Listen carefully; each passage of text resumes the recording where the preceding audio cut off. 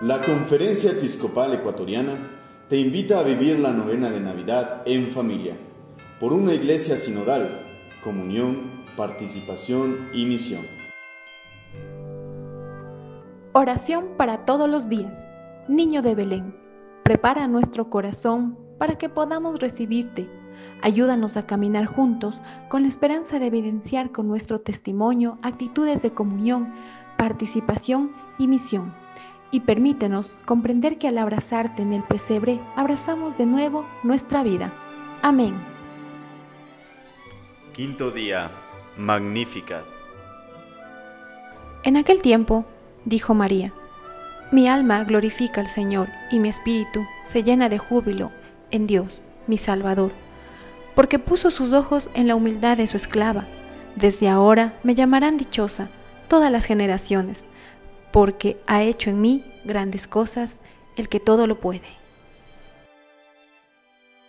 En este día reflexionamos sobre el Magnificat, esta gratitud que nace del corazón de la Santísima Virgen María a Dios por haberla escogido como la Madre del Salvador.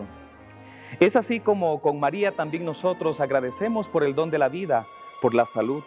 Seguimos viviendo esta pandemia que nos asusta. Sin embargo, si tenemos vida, es gracias a Dios.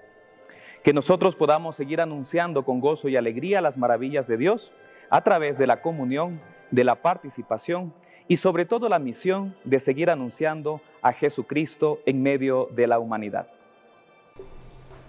Compromiso.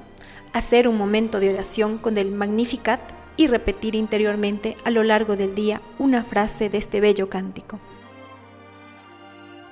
Oración final.